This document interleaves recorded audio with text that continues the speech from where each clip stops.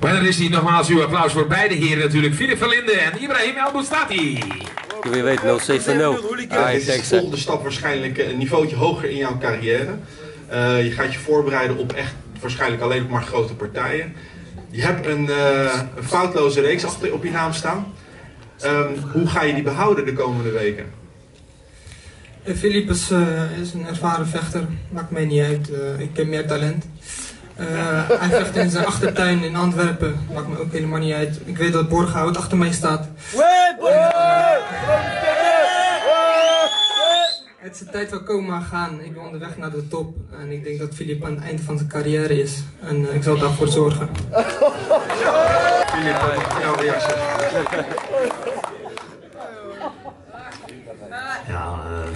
Eh, wat moet ik daarop zeggen?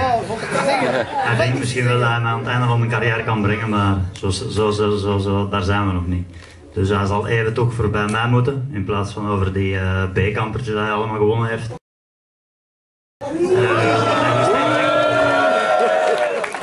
Ervaar je dat vaker als je tegen jongere gasten vecht? Dat, dat ze eh, denken van oké, hey, eh, ik ga hier tegenop eh, en eh, ik, eh, ik wals eroverheen. Ja, ik heb de laatste jaren alleen maar tegen toppers gevochten. Ik was altijd de onderdog. Nu ben ik een beetje de, de, de, de meer gevestigde waarde, meer ervaring bekeken.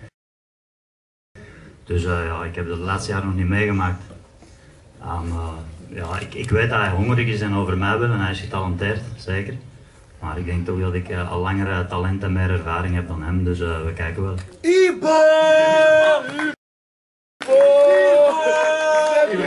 Zie je je, je voorbereiding en je jeugdigheid als een voordeel of als een, nadeel in dit eh, gevecht toe? Heb je, eh, en, daarna, en daarbij nog een vraag, heb je je specifiek voorbereid op Filip? Nee, ik zie deze wedstrijd gewoon als elke andere wedstrijd. En eh, ik ben ervan overtuigd dat ik eh, het publiek weer ga vermaken.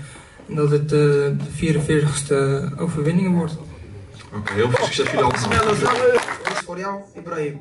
Kijk, heel simpel. Ik ga niet rond de pot draaien. Heel Borgerhout, Antwerpen, voor jullie twee. En Nejed erbij. Jullie gaan alles rocken. Nordin Bermo niet vergeten. En Yusuf en Baitar. Oké? Easy.